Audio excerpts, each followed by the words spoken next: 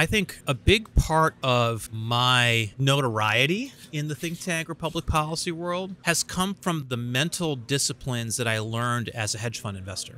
When you're a hedge fund investor, your, your best ideas are the ones that are contrarian, but that are right. It's not enough to be contrarian. You have to be contrarian and also right.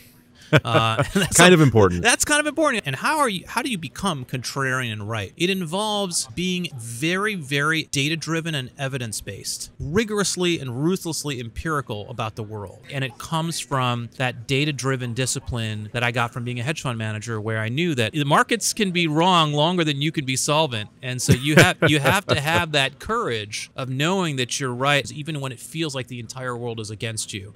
Welcome, everyone, to the Liberty Ventures podcast. My name is Alexander McCobin, general partner at Liberty Ventures, and I am so excited to be talking with Avik Roy today. Now, your bio is extensive. I'm not going to read through all of it because, you know, no, it's because you're just an incredible guy. And right now, you're the president of the Foundation for Research on Equal Opportunity. But as you list on your bio on the website, this is your fourth career. You've done medicine, uh, you've done investing, you've done politics, now you're into public policy. And I'm not going to do nearly as good of a job explaining all of that. So before we get into our full conversation, I would love it, Avik, if you could just provide your story for everyone. What's what have been those careers and what's led you to the work you're doing in public policy now?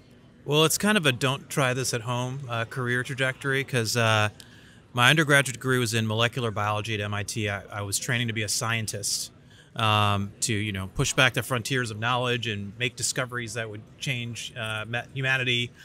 And then I decided I was too dumb to be a great scientist, so I decided I'd be a doctor instead. Um, and then uh, I realized that the world didn't really need me to be a doctor. Lots of other people wanted to be doctors, but there was this incredible revolution in biotechnology that was going on that I'd had a front row seat to because my dad was a, a, bi- a biochemist and I really wanted to be involved in that world. Um, and there were, unlike that, I, went to medical school in the 90s, and so this is the time of the, the first dot com bubble. And I had been an early adopter of the internet. I just, I actually built one of the first 1,000 websites on the internet uh, for my old college paper at MIT and but I, I sat out the whole internet revolution because I was in medical school instead of dropping out like I should have and gone to the University of Illinois to join Marc Andreessen. Uh, I instead just sat there in med school watching all my friends uh, drop out of school and go to dot com. So I'm like, okay, I missed that one, but uh, but there's this biotech revolution that's coming that I have an inside track to because of the scientific training. And unlike a lot of software, there's intellectual property around drugs if you develop a new treatment for a disease.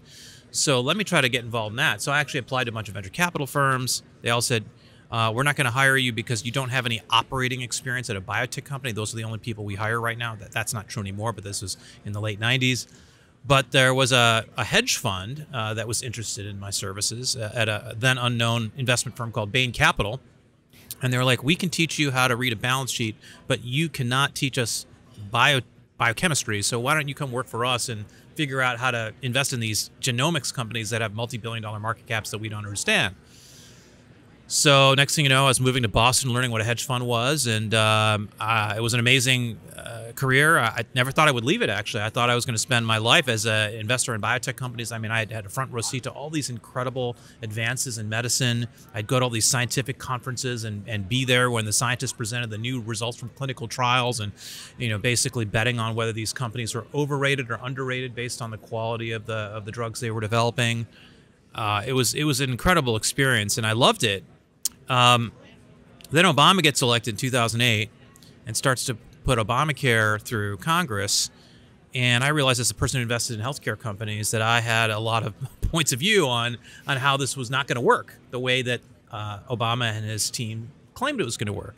The problem was the libertarian and conservative community was not making those arguments. They were basically saying Obamacare is big government, it's a violation of the Constitution, it's expansion of the welfare state which are all arguments that libertarians already agree with. But if you are just an ordinary American who's struggling with the rising cost of healthcare, and one side is saying, I have this law bill called the Affordable Care Act that's going to make your healthcare less expensive. And you have the other side saying, I'm against big government. And you're just a non ideological, ordinary person re- seeing these two arguments. Which side are you going to pick?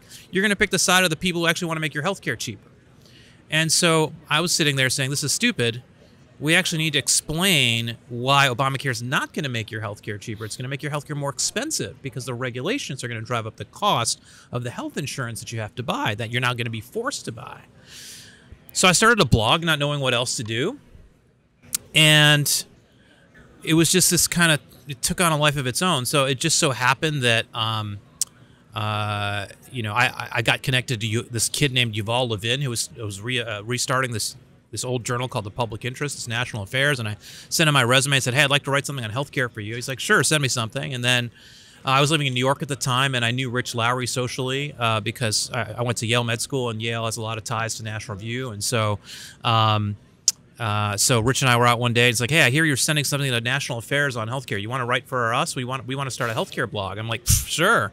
Next thing you know, I was writing for National Review, and then uh, an old buddy of mine who I knew from college who was the healthcare editor at Forbes, he said, "Hey, I like your stuff in National Review. Do you want to uh, blog for Forbes?" I'm like, "Okay." and then, um, then the Manhattan Institute calls it, "Hey, uh, we love your Forbes and National Review columns. Do you want to be a senior fellow at the Manhattan Institute?" I'm like, "I have a full time job on Wall Street. I, I mean, I'm flattered, but like, I, I, I can't, I can't I can't work for the Manhattan Institute. Um, but they're like, no, it's okay. Just put the Manhattan Institute at the bottom of all your blog posts and we'll pay you. I'm like, is that how it works?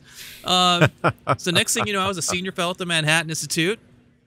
And then um, Mitt Romney, who was the founder of Bain Capital, and his team called said, "Hey, we love your uh, your stuff. Can you uh, can you help us design our health reform plan for the 2012 presidential election?" Uh, and, uh, and and entitlement reform. I'm like, how many times do you get that call? Especially as just a a guy with an opinion and a laptop. I mean, I, I was I had no standing in the movement at that time. I was just a guy working on Wall Street. Um, the next thing you know, I was uh, healthcare advisor to, to, to Mitt, and and um, um, that led to a lot of other things, and it's like one thing led to another. Then I thought after he after he lost, I thought, okay, I'll, I, I took a leave of absence from my Wall Street career. I'm like, this is very important, trying to you know repeal and replace Obamacare. Let me actually put all my energies into this and then I'll either join the Romney administration or I'll go back to Wall Street. Um, but neither of those things happened because Mitt lost, and then instead of going back to Wall Street, people started asking me, now what should Republicans or conservatives or libertarians do on health care?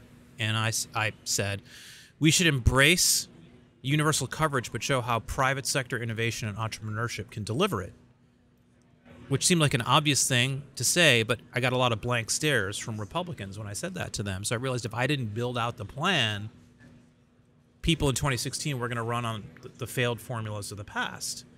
So I took the next two years to build out a full fledged how do you achieve universal coverage using private sector entrepreneurship and innovation and then the 2016 candidates started calling, and I never basically escaped. And then um, worked for Rick Perry, the governor of Texas, and Marco Rubio in 2016 on a broader range of issues than just healthcare, all of uh, public policy, including all domestic policy, foreign policy.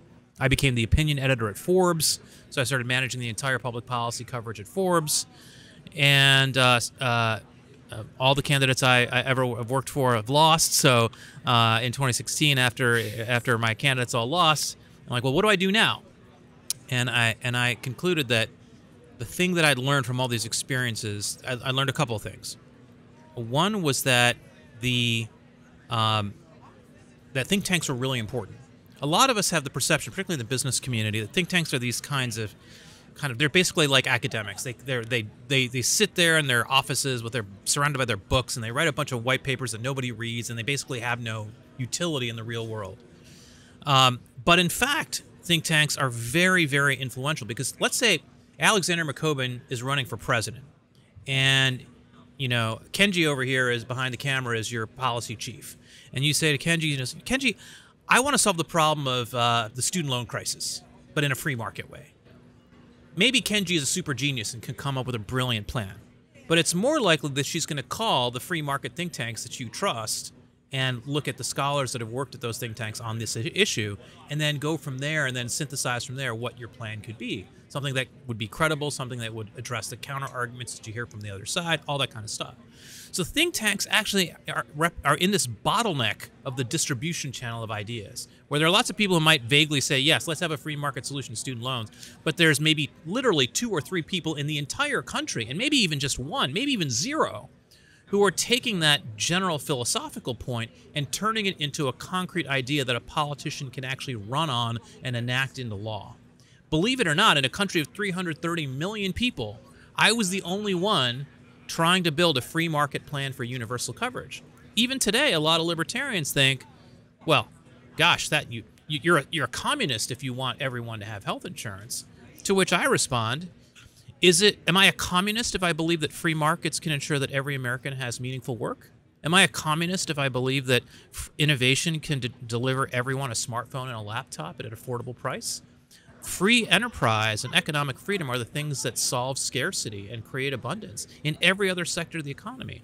And if we conclude that in healthcare that's not true, then we've accepted the premises and the philosophies and the values of the other side. And so the entire premise of my new think tank, the Foundation for Research on Equal Opportunity, is exactly this. Something that you and I, I know, take for granted, Alexander, but it's that all of the things that progressives say they want more wealth, more opportunity, more opportunities to prosper for lower and middle income people in the United States around the world. These are things that are almost always best achieved, in fact, really always achieved, best achieved by economic freedom and the creativity, leaving, allowing people to be as creative and, and, and uh, inventive as they can be. The problem is that a lot of people in our movement often have the rhetoric of leave me alone and let me keep my stuff. And so if you're trying to appeal to someone who's struggling, you say, my philosophy is leave me alone and let me keep my stuff, and you figure out how to solve your own problems. I can understand that as a philosophical premise, but at the end of the day, uh, for our movement to have the to have the political coalition it needs to appeal to young people in particular who are increasingly true believers in the idea that our economy should be inclusive and should have opportunities for everyone, we have to show that economic and individual freedom can be applied to the challenges that lower and middle income Americans face, people on the bottom half of the ladder. And so that's 100%. what that's what FREOPP, the Foundation for Research on Equal Opportunity, is designed to do, and that's what I've been spending the last seven years of my life doing. So that was a longer answer than I think you wanted, so I apologize for that. It is exactly as long as it needed to be because there's so much for us to unpack in there, and as as I said at the opening, it's so diverse. When people hear all the different things you've done in your life, they might think they're so disconnected and and have a question is there a running theme for ev- everything between them in your life or something that's maintained that unity? Or have you just been looking at different opportunities and saying i'm going to tackle that one that's come up in your life i'd say if there are two themes there's two themes i think. The first theme is that i am temperamentally a contrarian. Um, i'm if, if everyone believes x my immediate kind of instinctive knee jerk reaction is what is wrong with the conventional wisdom. And look, maybe nothing is wrong with the conventionals. You have to have the intellectual discipline discipline to understand or appreciate when the conventional wisdom is right.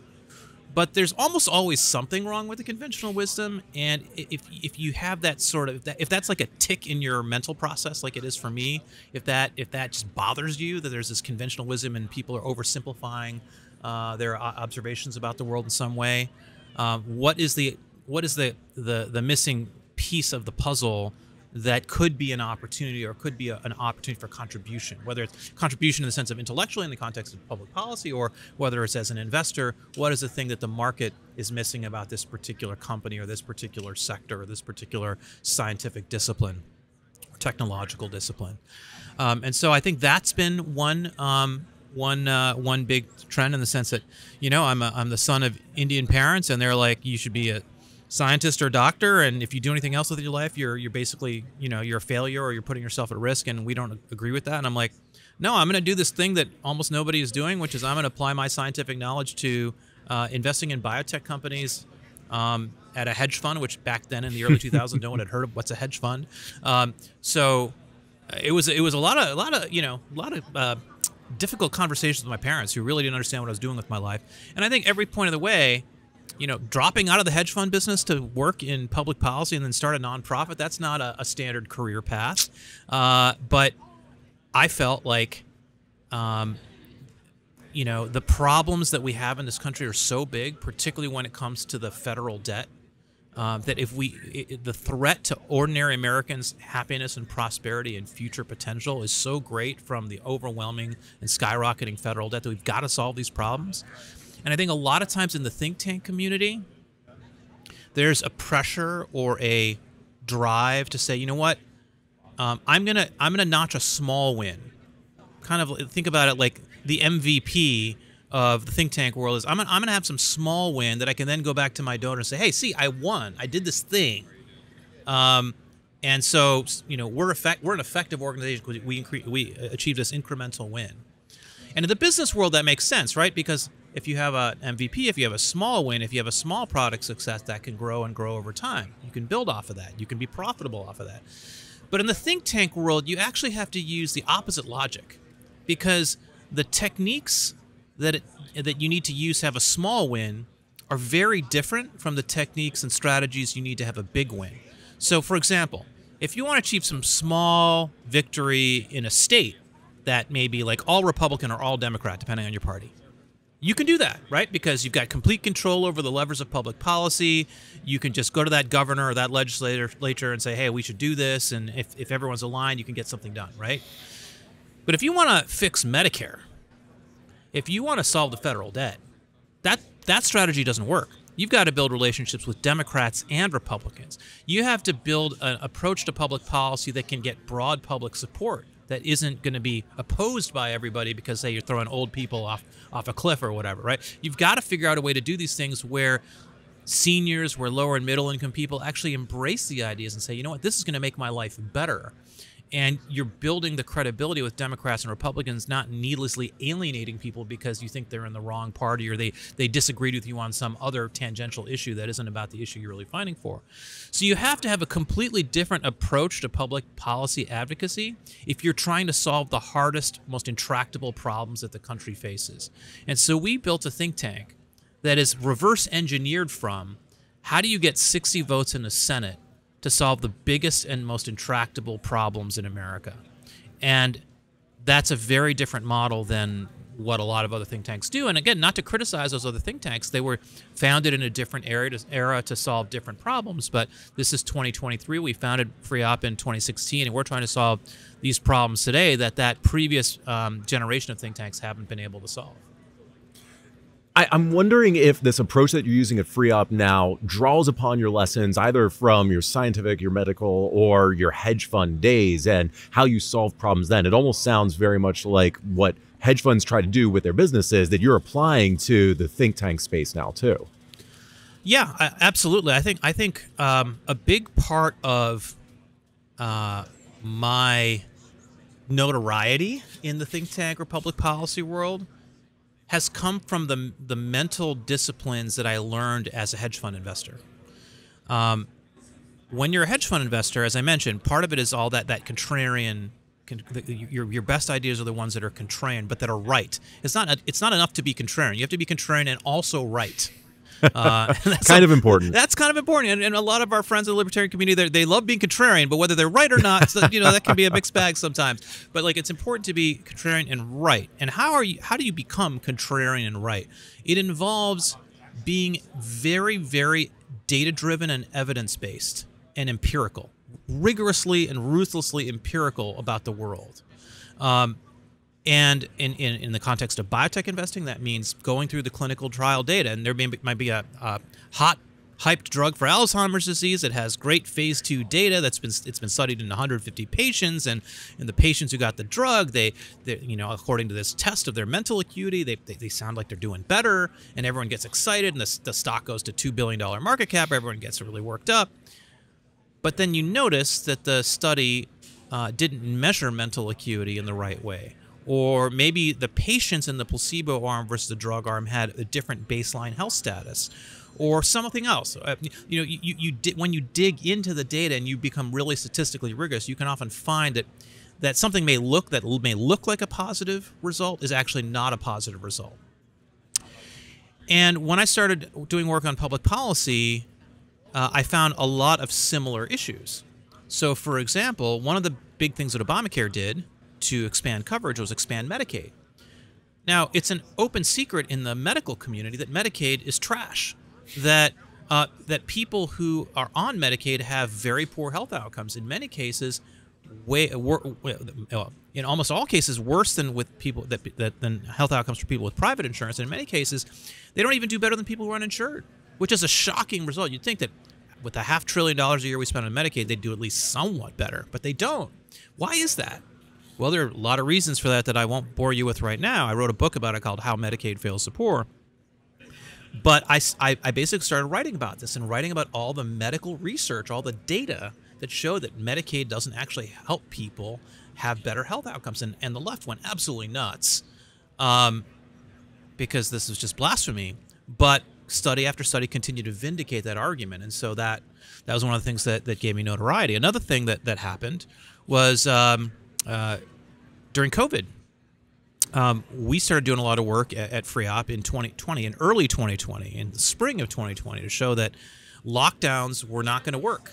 In particular, that school closures were a, were going to be a complete disaster because you could safely keep schools open without increasing the transmission of COVID. Because for reasons we still don't completely understand, but is has been uh, uh, validated over and over again by the data, the younger you are, not only do you become less sick from COVID and have less uh, risk of death, in fact, almost zero risk of death if you're really young, but actually, uh, your uh, transmission of the disease to others is also extremely low. And this is a very counterintuitive thing because any parent who has kids thinks that's that's impossible. I get sick from my kids all the time. They are always bring these bugs home from school and I'm getting sick all the time. How could it be that COVID, if my kid gets COVID, he's not going to give it to me? But it's actually true that in, in most cases, if you're a young child, you are not transmitting COVID to adults. This has been true in every place that's been examined all over the world.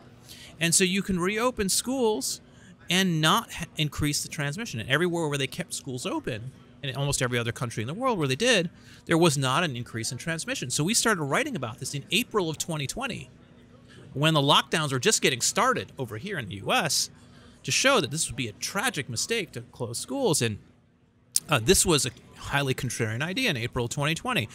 Um, and I had, you know, leading public health officials, uh, names that uh, that are pretty eminent, literally say to me, Avik, you are going to be responsible for the deaths of hundreds of thousands of children. You should be totally ashamed of yourself. What you're doing is incredibly irresponsible. But we're like, look, we've gone by the evidence. The evidence says this is safe. We, you know, yes, of course, we are we're predisposed to freedom and predisposed to keeping schools open, but we didn't argue for opening schools based on first principles of freedom. We argued for it based on it's safe to do that because that was how you were going to convince that non-ideological moderate to go along with it. Those governors who have to take the risk, who know that lives are on the line if they make the wrong decision. So we published this uh, this paper. Uh, the Wall Street Journal asked me to put a to, to write a full page version of it for uh, actually a two page version of it for their weekend review section. Uh, and then then the governor started calling and saying, "Hey, you know, can you help us reopen our schools?" And we got very busy and we didn't help everyone. We weren't able to help everyone because there were a lot of kids in blue states where the teachers unions were able to block uh, uh, school reopening. But um, but we succeeded in a lot of places. We estimate or we calculated that there are 50 million kids who had in-person learning in the 2020 to 2021 school year in part because we were the ones who made the scientific case for reopening schools and the only ones who did. So even though we're a small think tank, we have 30 people, we have a two and a half million dollar budget. We uh, we feel like we've we've done some useful work, and it comes from that data driven discipline that I got from being a hedge fund manager, where I knew that look in the markets you can be you you can be you, the markets can be wrong longer than you can be solvent, and so you have you have to have that courage of knowing that you're right and and really always evaluating the new data as it comes in, but having that courage of your convictions, even when it feels like the entire world is against you. And that uh, mental discipline has served me well in public policy.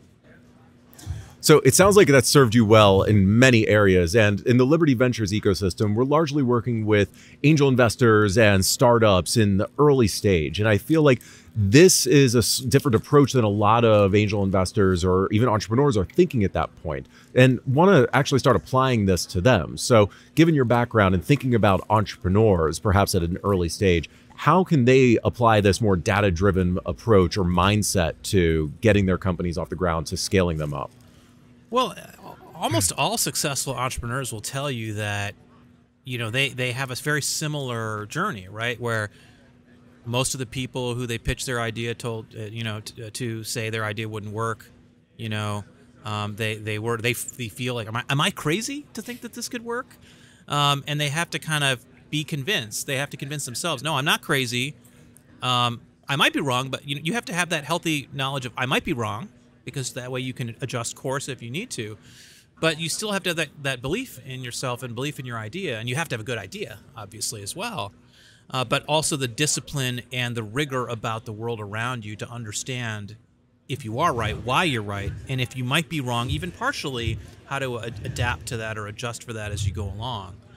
Um, and so that's really important. You know, uh, you know, I'm on, on the boards of some some startups and, and and continue to invest in that space myself. And I, I think that's that's very important, right? Is to is to have that sense of do I have a theory of the case? Do I have a clear product market fit? Do I have something I'm doing that either nobody else is doing it, like you know when I was developing the health free market healthcare plan that no one else else was developing, literally no one else was working on that, or maybe some other people are working on it, but I have a better idea, you know, or a better strategy.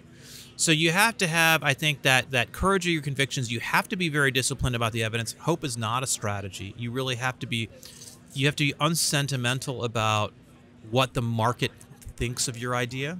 I think that's one beautiful thing about markets is you may you may think you have the most brilliant idea, but markets will tell you, consumers or clients or customers will tell you whether whether your your idea is is good or not, or who your idea will really serve. And there's so many stories of you know an entrepreneur that starts with a particular business plan or particular strategy and then five years later when you run into that person at a party like oh yeah how's that how's that startup going and they're like it's completely different what they're doing now but they're more successful because they've mm-hmm. figured out over that iterative process the thing that actually worked you know one thing i really am proud of with FreeOpp is that when we started FreeOpp in 2016 we had this theory that if you if if you laser focused on how to achieve progressive social outcomes, how to improve the lives of Americans whose incomes or wealth were below the US median, using individual and economic freedom, using free enterprise, using technological innovation, you could appeal to both Democrats and Republicans and centrists. You could appeal to a broad swath of people. You could build credibility among a broad swath of people, and you could actually enact laws in in, in difficult political areas. And the, the cool thing about FreeOpp is that we've been doing it now for seven years, and we have more conviction today about that thesis than we did in 2016. In 2016, it was a theory. Today, we have validated proof in many different areas that this this approach works. So I think that is absolutely invaluable, and want to bridge the connection between other people in the investing and entrepreneurial space and what FreeOpp is doing. So obviously donating to FreeOpp would be one way for people to get involved and support what you're doing, but is there another role for people in the investing or the entrepreneurial space to be involved in the kind of work that FreeOpp's doing? Yeah, I mean, uh, aside from donation, if, if there are people you know who uh, who uh, would, you think would be interested in what FreeOpp does and, and interested in supporting our work, that's always welcome. But aside from that, um, as a guy who comes from the investing world, who comes from the business world, who comes from the innovation world, I think one thing that um, I know firsthand is how important it is for people in the public policy community to hear from innovators. And I mean specifically innovators, because in the public policy world, the, the share of voice, the influence, comes from incumbents in the business world 99% of the time.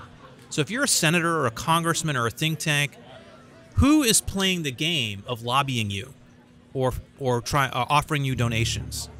It's almost always the big incumbent industries that know that if they tweak a regulation this way or tweak a subsidy that way, they can create a barrier to entry for innovators. Innovators almost always are too busy trying to survive and make their next payroll. They're not thinking about what's going on in Washington or at the state capitol, right? They're just trying to survive. And I get mm. that. I get that.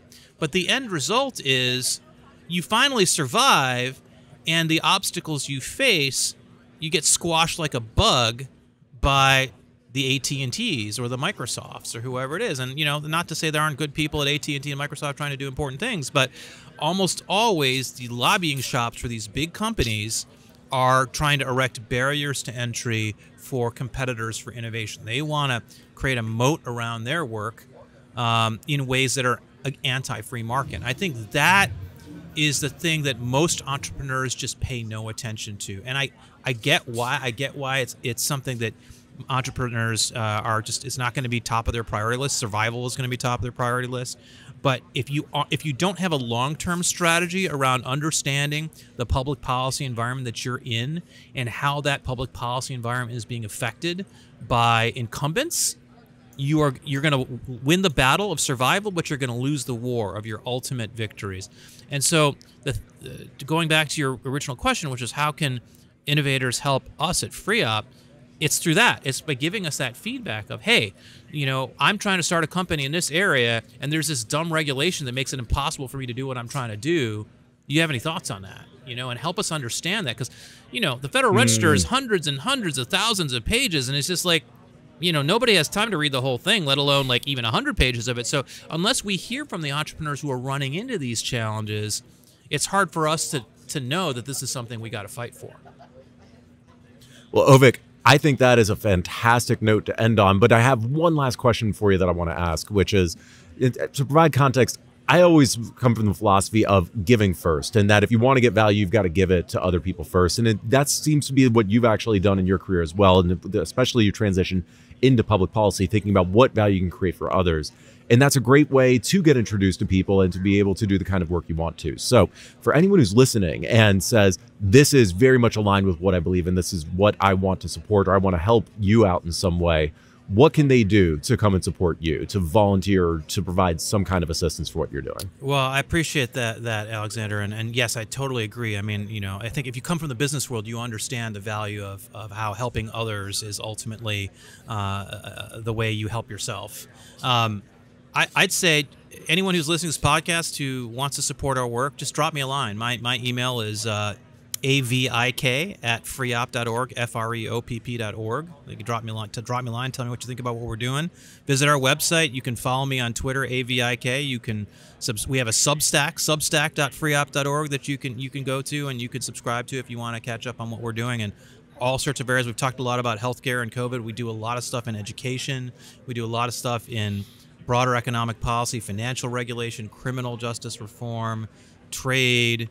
Um, I mean, we've got a lot, an amazing team of scholars. Uh, I would love to uh, to introduce them to you. Fantastic, Avik. Thank you so much for everything you're doing and for talking with me today. You too, Alexander. This has been great. Same to you.